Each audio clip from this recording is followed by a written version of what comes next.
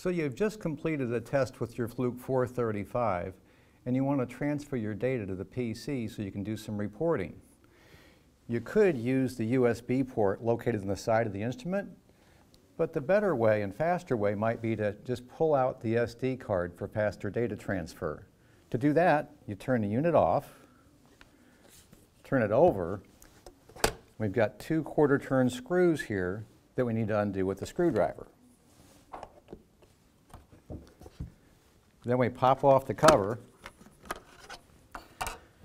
The SD card is tucked in right here. You push to release, slide it out.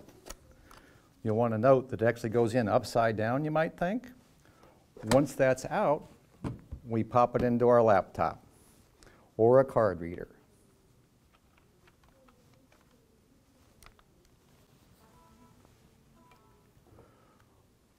What we recommend you do on your PC is to create a separate directory called Fluke SD in your C drive to keep the directory name short so you don't have issues with the operating system. Within that drive, you can create names that are meaningful to yourself. I'll create a new folder and call it Demo.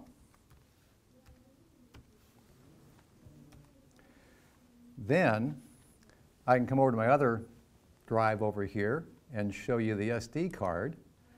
And there's a directory there called Fluke. I'll simply click and drag that into my demo folder. It copies it over, and now I've got that information in my demo folder. So there's the new Fluke directory. The next step is to open PowerLog.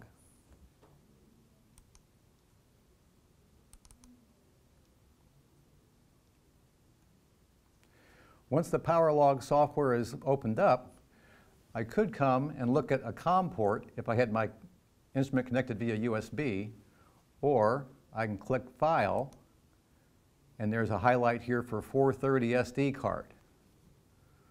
When I do that, I simply navigate to where I stored that on the Fluke C drive before.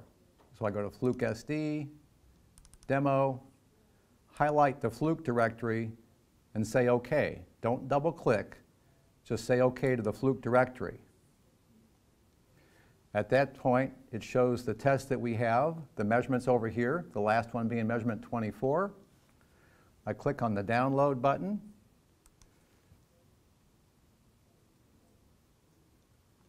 And there's the data from the Fluke 435.